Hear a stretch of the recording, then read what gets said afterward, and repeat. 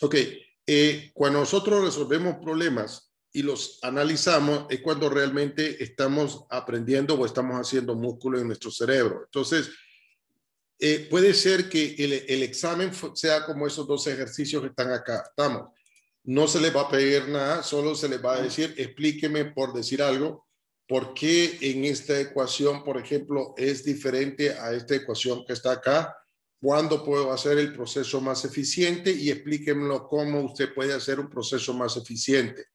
Entonces puede ser que el examen sean eh, dos ejercicios así, con ecuaciones y que se les diga a ustedes, ingenieros, explíqueme, quiero que usted me explique con esta ecuación, estamos, cómo puedo hacer todo este sistema más eficiente o cuál es la diferencia entre tener eh, una turbina y tener una bomba. O sea, ¿por qué se utiliza la misma ecuación para los dos. ¿Cómo es posible si son dos elementos? Uno, eh, este es un gasto y este es algo que me está dando energía. ¿Cómo puede ser posible que estemos usando la misma ecuación para los dos? Entonces, uno, o les podría decir, ingeniero, eh, quiero saber en qué influye, si, eh, cómo puedo hacer esta bomba que tengo, este motor que tengo aquí, hacerlo más eficiente. Entonces, quiero que me lo explique, pero no sino que me lo explique con una fórmula o con algo que usted ha aprendido en clase. Entonces, nuevamente, los ejercicios de examen puede ser que no tengan ningún solo dato, ojo, ¿verdad? Sino que sencillamente se le va a pedir eh, cómo puedo hacer los procesos más eficientes, este, qué pasa si yo tengo de tanque a tanque, es un proceso más eficiente que tenerlo a descargar a la atmósfera. Estamos, eh, será mejor que la presión de succión en una bomba sea negativa o sea positiva estamos será mejor que una presión de succión, una presión a la entrada de la turbina, este, la, tubería sea de mayor diámetro o sea de menor diámetro, porque es el inverso de la bomba y ese tipo de cosas, porque eso sí, eso sí le van a preguntar en algún momento dado. Entonces, nuevamente, ojo, que el examen puede ser que no tenga ningún dato, pero si yo pido que me den una explicación, no me van a decir, ah, es que la entrada es más fácil. No, tienen que agarrar la ecuación y con la ecuación ustedes explicar el proceso, como lo vamos a hacer ahora, ¿verdad? Estamos. Si tienen alguna duda, me detienen. Mire, este es un ejercicio que está en el libro. Estamos, ustedes lo pueden encontrar en el libro. No me acuerdo, hubiera puesto el número, pero se me, se me fue la.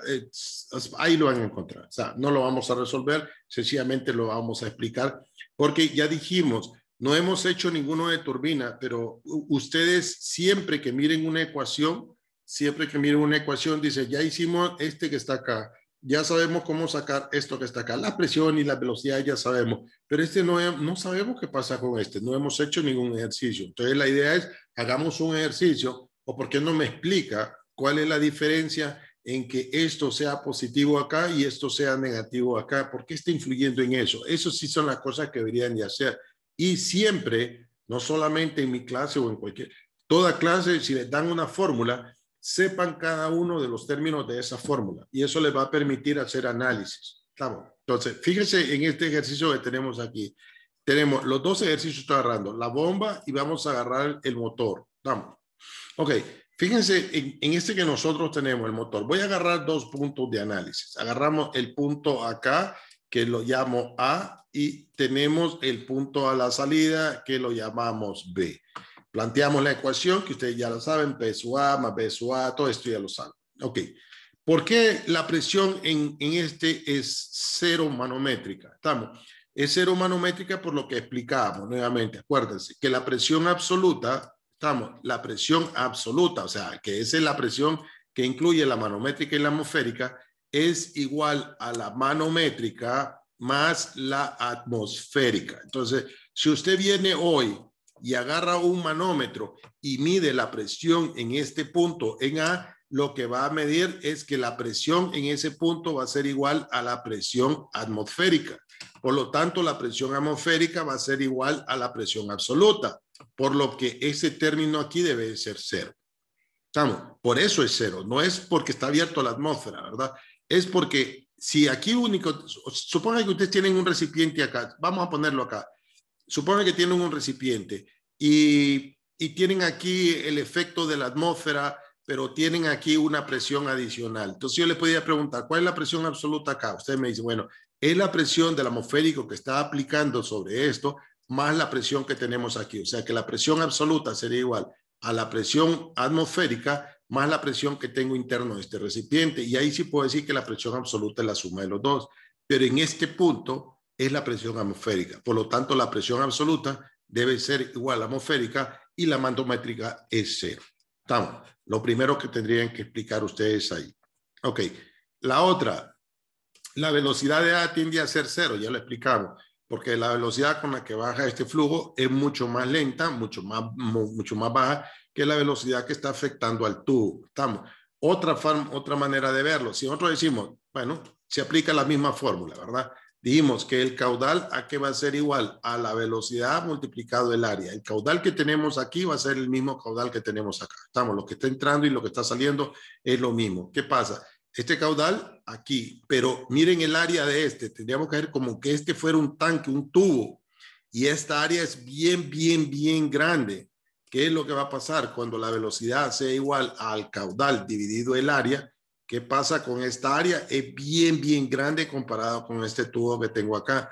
Por lo tanto, la velocidad se va a hacer casi nula. Entonces, por eso es que la estamos haciendo cero. Ojo, ¿verdad? Si vamos a explicar algo, lo vamos a explicar con las fórmulas que ya tenemos, por favor, como ingeniero, ¿verdad?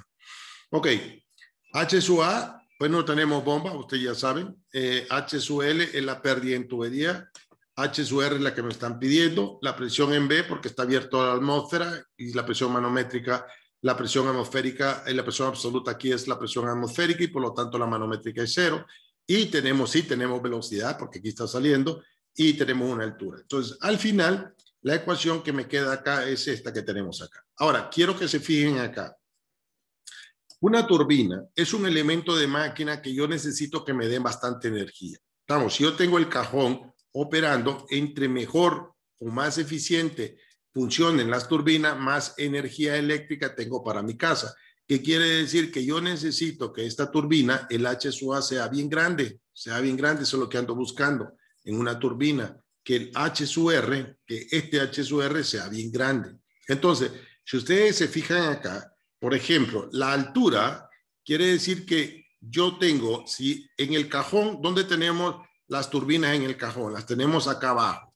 El agua está acá arriba, pero las turbinas estaban abajo. ¿Para qué? Para que la energía potencial sea aprovechada por la turbina. Quiere decir que entre más baja estén las turbinas, más eficiente va a ser esto. Quiere decir que si voy hacia abajo, este valor es un positivo y me hace que esto se dispare. Si yo tengo la turbina a 250 metros, por decir algo, estamos, ¿qué quiere decir? Que esto va a tener 250. Si yo logro reducir esto o bajarla más a 270, ¿qué va a pasar? Ahora 270 es este valor y por lo tanto tengo más potencia en la turbina. Estamos. Entonces, quiere decir que debe, las turbinas deben estar en la parte de abajo. Ok, perfecto. Ahora, quiero que se fijen acá, por favor, porque también es importante esto. Miren, supónganse, y voy a, voy a agarrar números, porque eh, a veces es más fácil entenderlo esto con números. Supónganse que este, este término que está acá, supónganse que este término acá es 10. Estamos.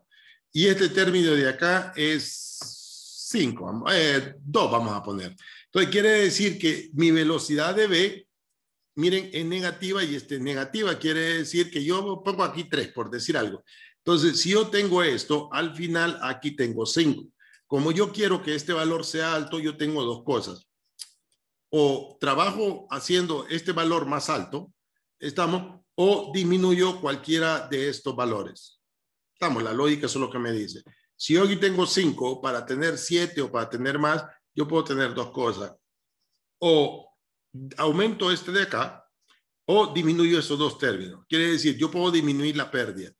Ok, puedo disminuir la pérdida. ¿Cómo pierdo, cómo disminuyo la pérdida en tubería? Puede ser que por esta válvula tenga pérdida o ese tipo de cosas. Ahora, quiero que vean la velocidad. Miren la velocidad. La velocidad, estamos, ¿qué va a pasar con la velocidad? Miren, tiene que ser baja. Entonces, cuando dijimos en una bomba, ¿cómo era en una bomba? En una bomba, nosotros tenemos un motor, tenemos una bomba acá, la de tubería de entrada, ¿cómo es? Es grande y la tubería de salida es pequeña. Estamos. Pero si yo hago pequeña en una, en una turbina, yo hago pequeña la tubería de salida, ¿qué va a pasar? Este término se me hace mayor. Entonces, ¿qué va a pasar? Que en una turbina lo que voy a tener es que la tubería de entrada es diámetro menor y la tubería de salida es un diámetro mayor. ¿Por qué? Porque si yo logro disminuir la velocidad, estoy siendo más eficiente en este proceso que tengo acá. Entonces ya me está diciendo que por eso es que necesito que en una turbina la tubería de salida sea mayor que la tubería de entrada. Estamos. Porque a diferencia de esto, supónganse que, supónganse que este no fuera cero, supónganse que esto no fuera cero. Miren, si esto no es cero, ¿qué nos quedaría en este, si esto no fuera cero, ¿qué nos quedaría en este lado de aquí? Nos quedaría, lo voy a hacer, nos quedaría que, un segundo, nos quedaría B sub A al cuadrado menos B sub B al cuadrado dividido 2G, supongamos que no fuera cero. ¿Qué quiere decir? Que si en una, en una turbina hago la tubería de entrada bien baja, esta velocidad aumenta. Estamos. Y si yo hago la tubería más alta, esta velocidad baja. Por lo tanto, esto va a ser un número positivo y me va a ayudar a que mi potencia de la turbina sea mayor. Entonces ya voy entendiendo el proceso, cómo debe ser. No, quiero que me vayan a responder en un examen, es que la bomba debe ser la tubería de entrada a este, ¿por qué? Eso lo tienen que explicar como ingenieros.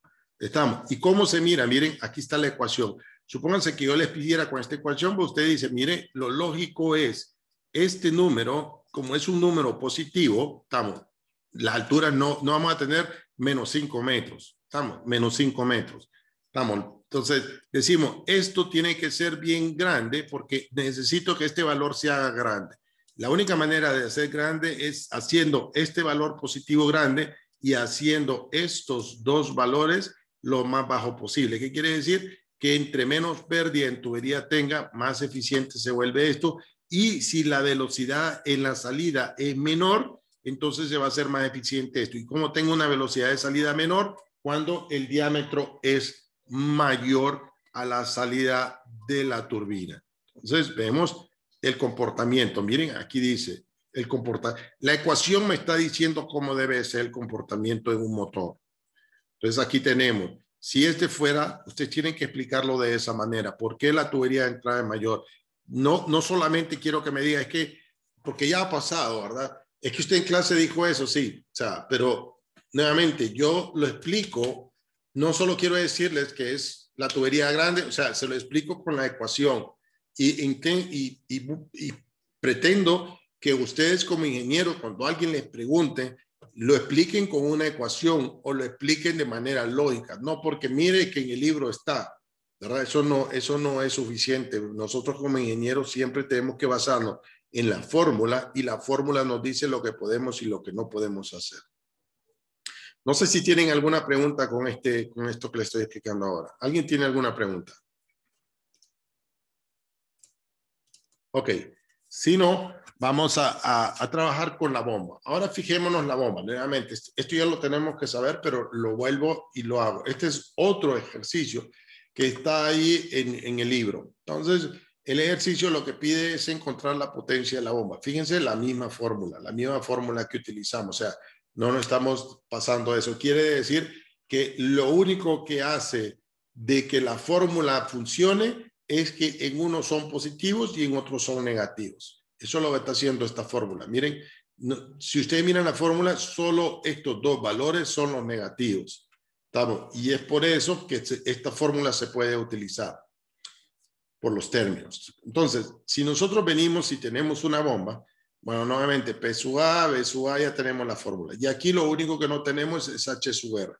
Entonces nosotros venimos y hacemos un despeje y tenemos esto que tenemos acá. Entonces, en una bomba. ¿Qué necesitamos en una bomba? En una bomba lo que necesitamos es que la potencia de la bomba sea menor. Porque si yo tengo una bomba de 5 HP aquí, estamos, y tengo una bomba de 10 HP, la bomba de 10 HP me va a gastar más energía que la bomba de 5 HP. Entonces yo necesito que las bombas son elementos de máquina que entre más baja sea la potencia, más eficiente se vuelve el proceso. Entonces, dicho eso, ¿qué quiere decir? Que el HSUA debe de ser menor. Entonces, dicen ustedes, bueno, entonces tengo que trabajar con todos estos términos que están acá. Por ejemplo, voy a empezar por lo más obvio. Si esta pérdida es grande, estamos, quiere decir que mi potencia aumenta. Entonces yo debo hacer las pérdidas menores grandes. Eh, las pérdidas de tubería o, de cualquier accesorio tengo que hacerlas menor. ¿Cómo lo hago? Bueno, con las tuberías. Empiezo a trabajar con las tuberías. Tengo que trabajar con tuberías que sean menos rugosas. Entonces usted dice, se plantea, H sub L, ¿a qué va a ser igual? Es igual a un factor de fricción por una longitud entre un diámetro por una velocidad al cuadrado dividido 2G. Entonces, la pérdida depende de la velocidad. ¿Y la velocidad de qué depende? Depende del caudal y depende del área. Como ya me piden un caudal, quiere decir que este no lo puedo cambiar y lo único que puedo trabajar tal vez es con el área. Entonces, quiere decir que tengo que ver los diámetros de las tuberías. Perfecto.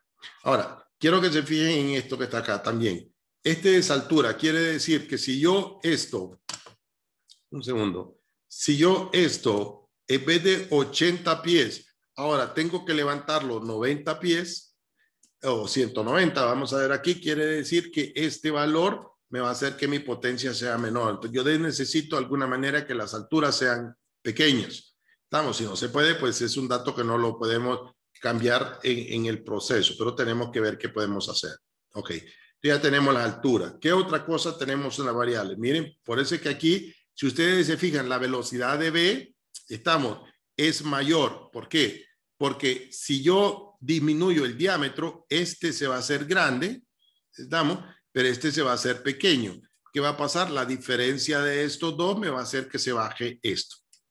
Entonces, por ahí podemos ver. Incluso si estos dos son del mismo diámetro, supónganse que este, este es de tres y media pulgada y yo tengo este de tres y media pulgada, ¿qué es lo que pasa? Este término ya no lo tengo. Entonces puedo decir, mire, lo ideal es que usted tenga las tuberías del mismo diámetro o incrementar la tubería de, salida o incrementar la tubería de, de, entrada para que pueda hacer eso. Pero si nosotros tenemos los dos diámetros igualitos, quiere decir que las dos velocidades serán iguales y por lo tanto este término no lo voy a utilizar.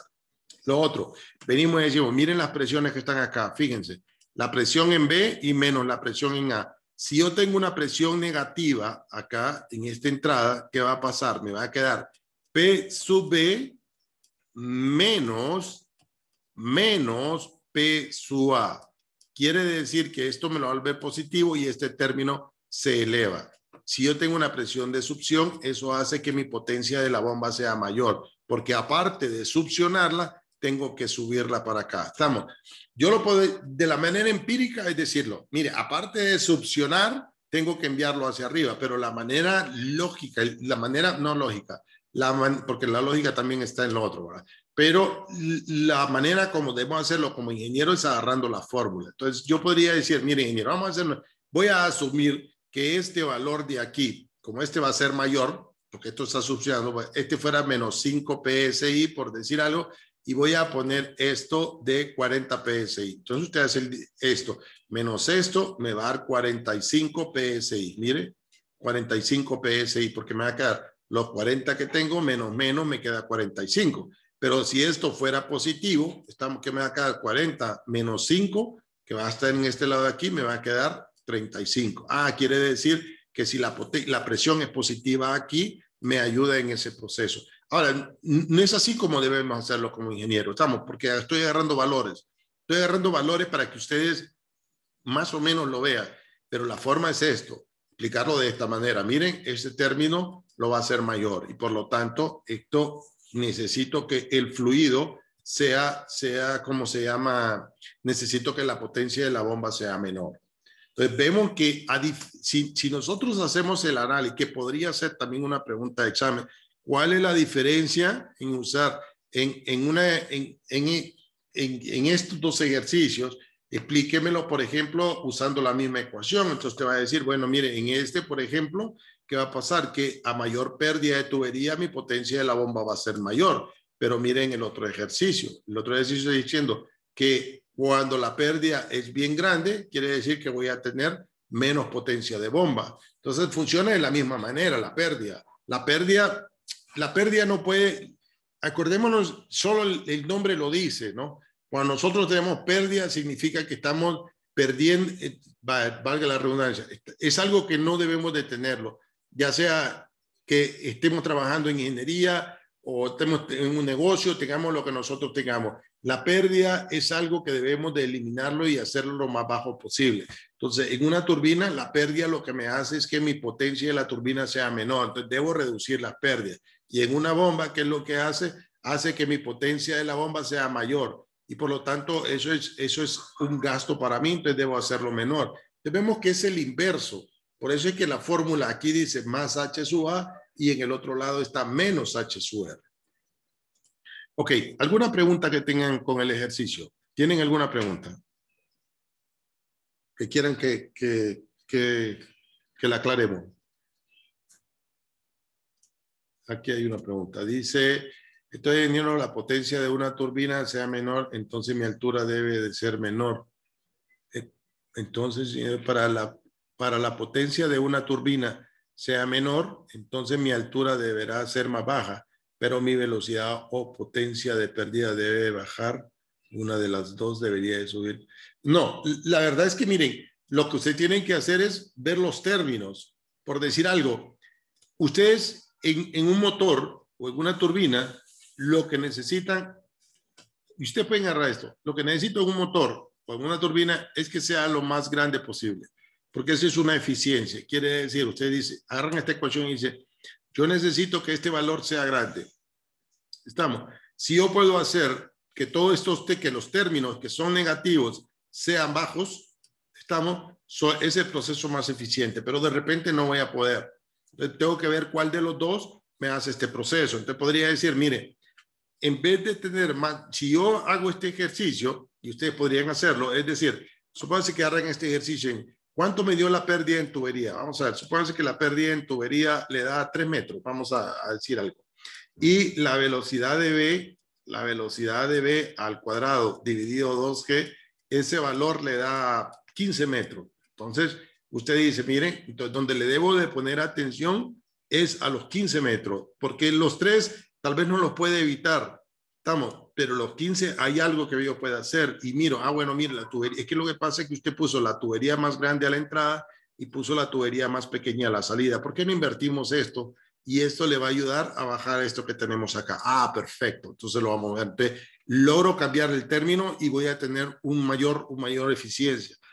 No es que ustedes agarren un valor y, o sea, puedan decir, voy a trabajar con este. Si, si en los tres, si yo puedo subir este y bajar estos dos, este va a ser el proceso más eficiente. Si no puedo cambiar la altura, tengo que cambiar esto. Si no puedo cambiar ninguno, este término, entonces voy a trabajar con el que pueda cambiar.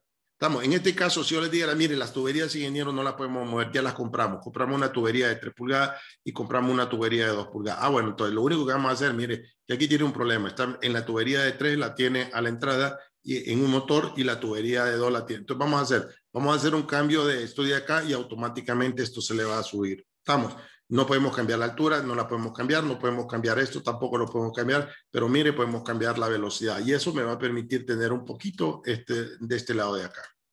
Estamos. Entonces, nuevamente, pueden trabajar en todos los términos para buscar la eficiencia. Como ingenieros, o sea, como ingenieros no estamos llamados a decir, mire, para hacer más grande este valor, estamos eh, aumenten la velocidad de salida del tanque. No, se va a decir, agarra toda su ecuación y dice, ¿podemos incrementar esta altura?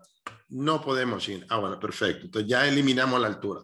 ¿Podemos cambiar las tuberías de orden? Sí. Ah, bueno, entonces aquí podemos tener una eficiencia que tenemos acá. ¿Podemos comprar otras tuberías? No. Entonces vamos a vivir con la ineficiencia de esas tuberías. Entonces, el único término que puedo ayudarles yo es que cambien, los, cambien las tuberías.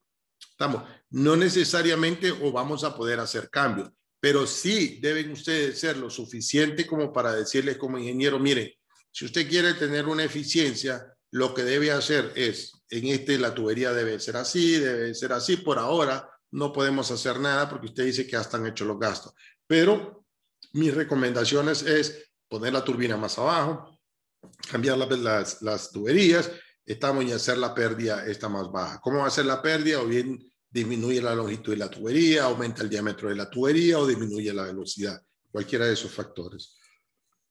Preguntas. ¿Tienen preguntas? Ok, acuérdense que el examen puede venir así como esto. Puede ser que solo vengan dos de esas cosas y les diga a usted, ingeniero, explíqueme la diferencia entre estos dos. Y nuevamente, no quiero, porque ya, ya pasó en un ejercicio en el, el periodo pasado, que es que usted dijo que eso era así. No, o sea, no, yo nunca digo que es así. Digo y explico por qué debe ser. Y cómo lo explico, lo explico con una fórmula. Y así debe ser cualquier proceso que nosotros tengamos. ¿Alguna pregunta? Preguntas. Ok, conectémonos a la otra, ya terminó esta. Conectémonos a la otra por si hay alguna pregunta y seguimos, continuamos.